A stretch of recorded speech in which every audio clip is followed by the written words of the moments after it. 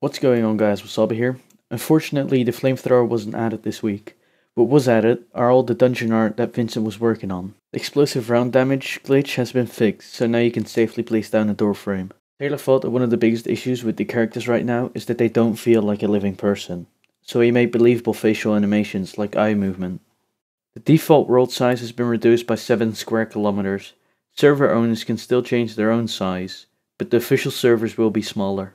Andre put in a group spawn procedural which makes all rocks spawn closer to each other instead of them just being spread out.